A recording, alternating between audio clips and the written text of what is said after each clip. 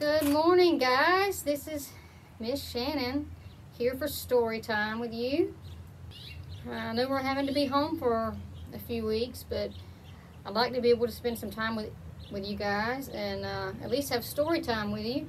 So I'm sitting outside in my swing, listening to the birds chirp and uh, cars go by, enjoying the warmer uh, air, being in a pair of shorts today.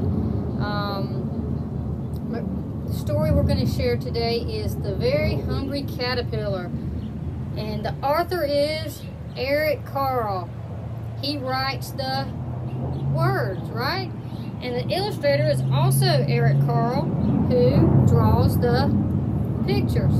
Now this is the front cover, and this is the back cover. This is the spine, that's right. And the book has a spine because it holds the pages together.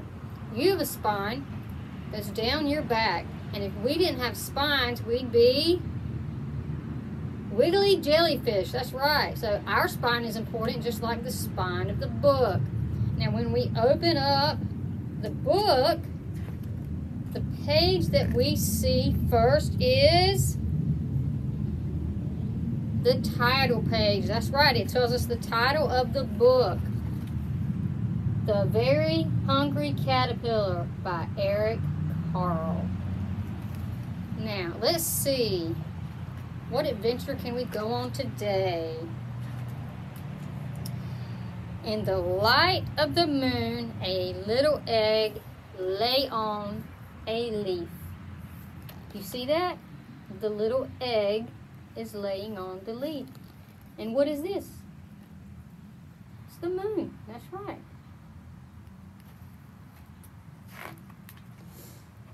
One Sunday morning, the warm sun came up and pop! Out of the egg came a very tiny and very hungry, see that? Caterpillar. See the big sun? Let's see what this caterpillar does. He started to look for food. On Monday, he ate through one, what is that? An apple. But he was still hungry. See. On Tuesday, he ate through two pears, but he was still hungry. On Wednesday, see, Monday, Tuesday, Wednesday, three. He ate through three plums, but he was still hungry. On Thursday, he ate through one, two, three, four, four strawberries, but he was still hungry. I bet while you guys are home, you're probably going to eat a lot, and your parents are going to say, You guys are always hungry. On Friday, he ate through one, two, three, four, five, five oranges. But he was still hungry.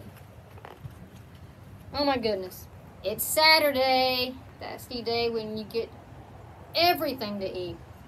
He ate through a piece of cake, an ice cream cone, a dill pickle, one slice of Swiss cheese, one slice of salami, one lollipop, one piece of cherry pie, one sausage, one cupcake, and one slice of watermelon. That night, he had a bad stomach ache. You see that caterpillar down there?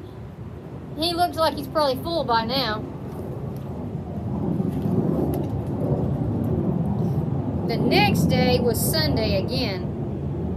The caterpillar ate through a nice green leaf, and after that, he felt much better. His tummy ache was gone. Now he wasn't hungry anymore. Look how big he got. And he wasn't a little caterpillar anymore. He was a big, fat caterpillar. He built a small house called a, you guys remember what this word is? A cocoon. Around himself, he stayed inside for more than two weeks. Just like we're having to do from school. We're having to stay away from school for two weeks. Then he nibbled a little hole in the cocoon and pushed his way out. And he was a beautiful butterfly.